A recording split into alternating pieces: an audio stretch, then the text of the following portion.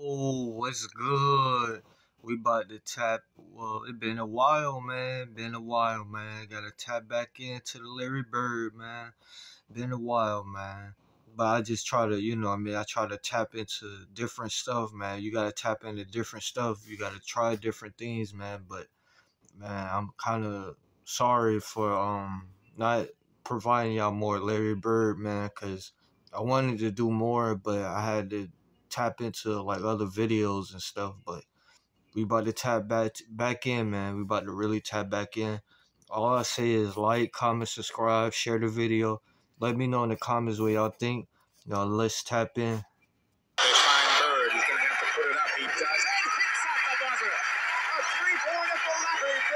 During the 1984 playoffs, a really unique game was played in the NBA, an unprecedented game, played in conditions that today would be unimaginable.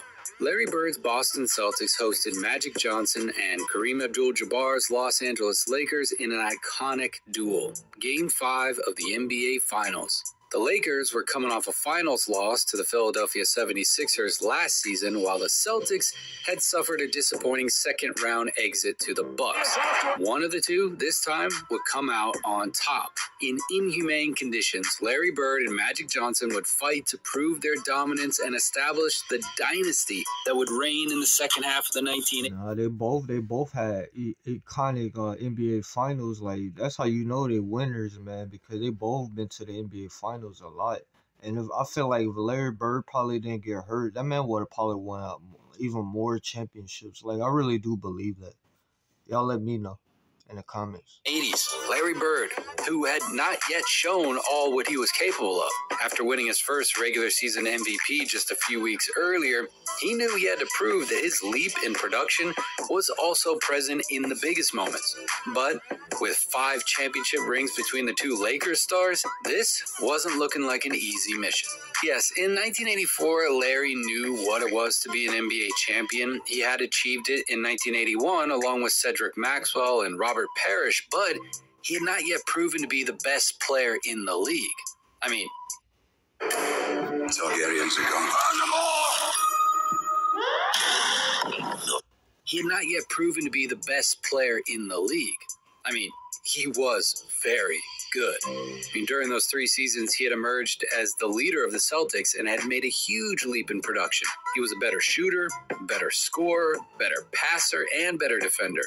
But still, on the NBA's biggest stage, he had not been able to showcase his incredible talent yet. But that year, he would finally get his chance. Of course, his rivals were the legendary Lakers of Magic Johnson and Kareem Abdul Jabbar, who in 1984 already had a lot of experience during big moments. They already knew what it was like to be the finals MVP. Bird dreamed of savoring that feeling, and he knew he had the talent to achieve it. That's why during the 1984 finals, the stakes were high, to say the least. The series was tied at two wins, and two of the four games already played went to overtime. Maximum competition.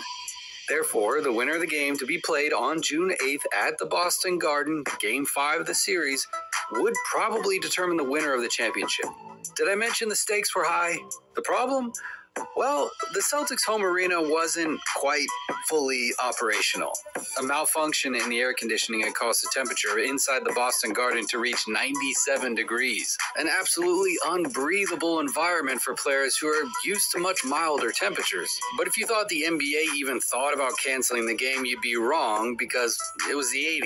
It was a different time. I'm pretty sure they would have played the game even if World War III had broken out.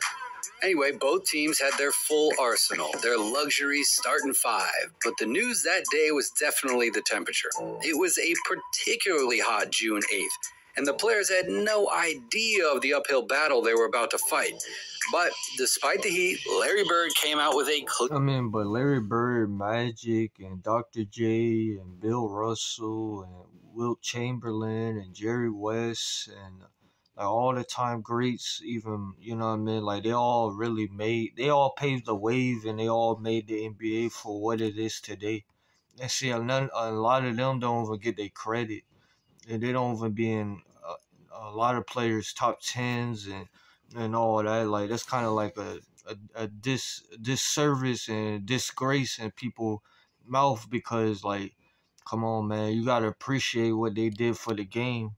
Because when Larry Bird, man, Larry Bird was that man before he got hurt. You know what I mean? And and then too, imagine him, uh, Reggie Lewis and uh, Len Bias. You know what I mean? That never happened with them, and Larry Bird didn't ever get hurt. That man probably could have like competed. He could dominate. I, and I believe Paulie Jordan would have won all those six championships. Like you know what I mean? If we being high, if we speaking in terms, you know what I mean? I don't I don't think Jordan wins all those rings because Boston was that team back then. You know what I mean? And they had a whole bunch of talent. Even if Larry Bird would have been like, all right, let, let me take like a like a little uh, backseat so these other players can develop and and so we could start winning more. You know what I mean? Like he could have did that and still could have been winning and dominating and putting up numbers too. You know what I mean? Like, come on now. Like I feel like Bird could have easily had five, six more chips. Come on now. You feel me? Clear game plan. Dominate the paint like he had never done before. So, in a way, he started playing the role of center. First, with plays like this one, where he sets a great screen that allows Dennis Johnson to knock down the open mid range, but also with the ball in his hands. I mean, we already know that Larry loved to work from the low post. It was his easiest way to score because his shooting threat, added to his physicality, was almost unstoppable. So here he starts to fight for a position, and then he buries his man underneath to give himself position for an easy finish. And that's just another Larry Bird's game that he had. Of course, always involving his teammates on offense and getting good shots for them. Here, Bird finds Maxwell with a great entry pass that he uses to force the foul, something that would happen all night long, by the way. And he was still looking for options from the low post, too. But in this case, Michael Cooper's defense caused a turnover. Mainly because Bird was just kind of playing with his food, you know. But despite the mistake, he continued with his game plan. On the next play, Bird receives another entry pass and goes bully ball mode against Cooper. He clearly felt that there was a mismatch on him, right? And Larry was just doing it all. He grabbed a lot of rebounds in the first quarter, and when he did, the Celtics were able to. Mouse in the house. Mouse in the house. He too small. He too small get out in transition. On this play, Kareem misses his skyhook. Bird grabs the defensive rebound and finds Dennis Johnson in transition, who knocks down the mid range. Meanwhile, knowing he can get Cooper in trouble if he goes to the rim with physicality, Bird keeps trying to abuse him. But this time he gets called for an offensive foul. And not only on defense, offensive rebounding was a great resource for Larry during that game. And not only in one play, but in two consecutive plays, Bird manages to score after the rebound, making an emphasis on second chance points. The first quarter is not over yet, and the Celtics star already has eight points and eight rebounds in a game, by the way, that was getting pretty intense. Now, although the Lakers started really strong, the Celtics managed to dominate the last minutes of the first quarter, and the score after the first period was tied at 26. But Bird was doing it all. He was scoring, rebounding, playmaking. Of course, that's just a normal day at the office for him. And then the second quarter began as the first ended. Bird grabs a defensive. Yeah, man. Like, Bird had an all around game, man. Like, he could do it all. Like, you know what I mean? Like, like, and you can't even compare nobody to Larry Bird and now today's NBA because like Luka Don- Doncic, he's the overseas like he's like the overseas or version, but but he's not Larry Bird though. Like Larry Bird was on a whole nother level, and Larry Bird was like that white American that could actually hoop. You know what I mean? And I wouldn't com- even compare him to. Uh, I wouldn't compare him to Gordon Hayward because Gordon Hayward was never on Larry Bird level. Like, let's be real. You know what I mean? But I mean, but who who was like on Larry Bird level as a white American basketball player? you know what I mean? Like, come on, man. It was nobody even close to Larry Bird. His height, his size, he could shoot basically anywhere on the court. You know mean? Like, come on, man. And he had an all around game, man. He and he was a winner. You know what I mean? Come on, man. Like you can't even beat that. Like Larry Bird was on another level for real back in his day when he used to play. Nah, like Larry Bird, you gotta put him in like in your top ten, like your top fifteen. Like you gotta at least put him somewhere around there. You know what I mean? Like, come on, man. You gotta pay homage to what Larry Bird did in the league, man. Like, ain't nobody could guard that man. Come on, man. Rebound and throws a crazy outlet pass the length of the court that ends up hitting its mark. Shortly after, the forward finds McHale in the paint with a perfect over the top pass, allowing him to add another dime to the assist column. This would be the second to last assist he would get that night, but not because of poor passing. It was more like his teammates weren't really hitting their shots. And then on the other side here, Magic Johnson had to knock down a mid range, but he actually struggled to put the ball in the basket this game. He relied on his elite playmaking but it wasn't near enough to outdo Bird. Another example of Bird's aggressiveness that night is this play in which he throws his man into the back screen, leaving him wide open, and then he finishes the layup, always showing his IQ and his ability to move the ball. The Lakers, they just knew it was Larry Bird's day. They tried everything to stop him. Every time Larry had the ball in his hands, he always had two defenders around him. And the most incredible thing is that it didn't matter. In this play, Bird knocks down the fadeaway from the low post with ease, even though LA sent a double team. Shortly after, he knocks down his first three pointer of the game, which, funnily enough, was almost missed by the television crew. And later, Bird steals the ball on defense and passes to Dennis Johnson in transition for the assist, who, by the way, played a pretty good game. And then K.C. Jones decides to reward Larry for this incredible display of basketball with a short break that would last barely a minute. When he returns, the Lakers defense had not forgotten about him. They were literally sending a double team as soon as he touched the ball. But if there's one thing Bird knew how to do, it was to take advantage of that extra attention to find open teammates, as in this play. At halftime, the Celtics were up by only two points. With the oppressive heat, Bird was playing with even more intensity, though. He was the team's leading rebounder and scorer that night, in addition to doing much of the dirty work, too.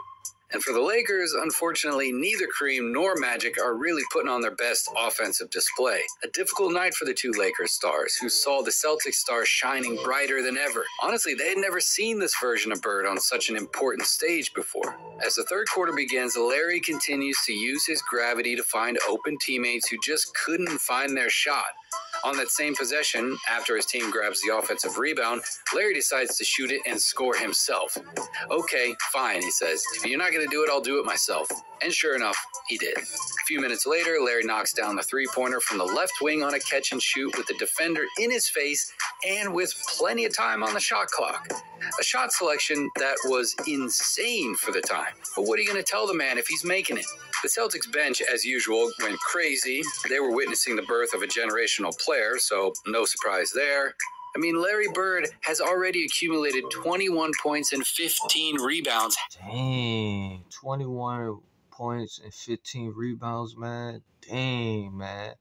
That man really did impact the stat sheets for real, man. He impacted the whole game pretty much.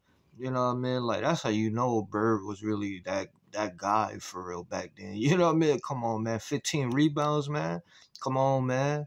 I mean, he was grabbing pretty much every rebound the whole game. You know what I mean? Come on. Now, you know what I mean? Come on now. I'm pretty sure that man probably had probably eight eight assists. Probably he probably even had ten assists probably that game. Probably. you know what I mean? halfway through the third quarter. It's been a legendary night for him. Far from settling, though, Larry is working even harder on defense. Look at this incredible block where he gets whistled for a foul on the putback. And look at his emotion when it happens. He's pissed. And he didn't care how hot it was. He didn't care about drinking water. He just wanted to show that it was his time. And the crazy thing about this is that anyone in his situation would forget about doing the dirty work. No, not Larry Bird. Look at this example of incredible basketball IQ, too. Bird sets a fake screen to pull the defender and allows Robert Parish to get the easy basket. Even being defended by two players at once, Larry pulls the trigger when he can. Like on this play where he beats the buzzer of the third quarter with this incredible shot after a pump fake. And of course, the Boston Garden is on fire. Yes, because of the heat, but also because of the madness that Bird is unleashing in front of their eyes. In those moments, no one was thinking about the sweat they had on them or about the gravity of the situation they were in because they were witnessing a masterclass from Larry Bird during the entire game. 15,000 people moving like crazy at 97 degrees. They didn't care. And this performance was also disconnecting Kareem and Magic, who watch on helplessly as they can't do anything to stop him. At the end of the third quarter, the Celtics are up by 11. And, well, although Jabbar was not having his best game, look at this crazy block he gets on Robert Parish at the beginning of the last quarter. The center was 30, by the way. He was still moving like he was 19. Maybe that's why he could play in the NBA till he was 43. But let's not forget about Bird. This is his night. On this play, he knocks down another shot from mid range on a catch and shoot from the left wing. Shortly after, he gets a rest for a few minutes. K.C. Jones could afford the luxury that day. It wasn't normal to be leading the Lakers by more than 10 points, to be fair. Of course, it wouldn't be long before Bird comes back, and when he did, he made the difference again. First, getting the defensive rebound, his 18th of the game, by the way, which he promptly turns into two points on the other end of the court. The forward was dominating like never before on a special night. And yeah, it was also special because the referees had to wipe the sweat off the ball with towels every few minutes. And to cap off his incredible performance, Bird attacked the rim hard from the top of the key to end up getting a bucket while being fouled and promptly knocks down a free throw to cap off the and one. And the Garden goes absolutely crazy. And then Larry's able to sit on the bench for the last three minutes because the Celtics had a lead of almost 20 points on the scoreboard and knew that the game was already in hand. But even though Bird had made a statement and proved to everyone that he was the best player on the planet, the job still wasn't finished. The Celtics had to win one more game to become the 1984 NBA champions. And it wasn't in game six, which the Lakers won at home 119 to 108. It was in game seven, in which the Celtics won at home with 20 points and 12 rebounds from Larry Bird. He was selected MVP of the finals for the first time in his career, and that would only be his first season at the highest level. The first time he could feel like the best player on the planet. It was then that he began his incredible streak of three consecutive regular season MVPs. That series, that game, gave him the confidence to know that no one could stop him. Nobody had his versatility, no one was as complete. And from then on, and until he was seriously injured during the 1988 89 season, Bird imposed his dynasty. The NBA became his league, and his era will go down as one of the most legendary in basketball history.